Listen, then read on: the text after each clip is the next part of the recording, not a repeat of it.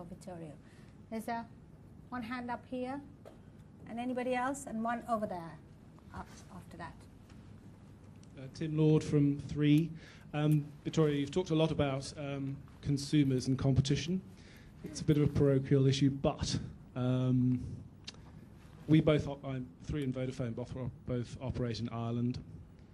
Um, if customers want to change networks in Ireland and keep their phone number, they probably wait about 20 minutes and their new operator can organise it quickly and efficiently for them.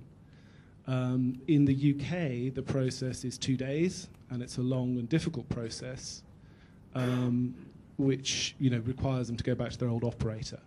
And I just really wanted to say to you, you know, what do you think is the best option for consumers? 20 minutes or two days? and you know, but, well, I've been trying. I mean, personally, I've been trying to negotiate with Vodafone UK to try and get a better deal and a more effective solution on MNP.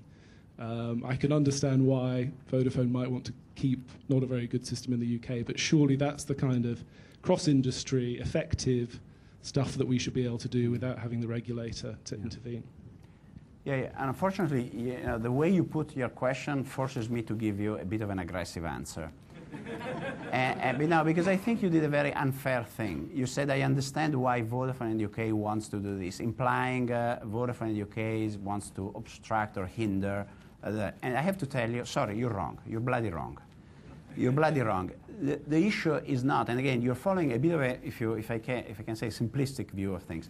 For a consumer, of course, 20 minutes is better than two days. And I can tell you that one minute is better than 20 days. And uh, you know, if you can organize it by telepathy, it's even better.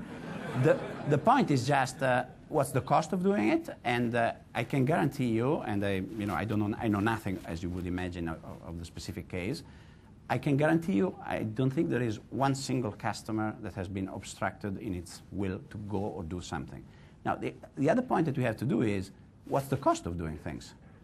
Everything at the end of the day is about the cost. I personally believe that if you ask me my opinion, I think one, one day probably is more or less acceptable for a customer.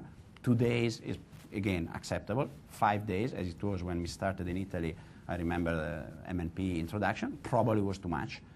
Now, the differential cost between one day and 20 minutes, which I'm totally unaware of, to be honest, you know, I'm giving you a is not, uh, uh, is not trivial. We should sit down and talk about it. What I don't think I like of the way you put the question is this kind of me against you type of thing, which I think is wrong. I mean, it's, not, it's, not, it's just about of, we have an amount of resources. Resources are finite by definition. Let's put the resources where it really matters for the customers. If it matters 20 minutes, fine. But if it one day or two is okay, and we better put uh, money on, I don't know, improving the quality and the speed of our networks, we should do that.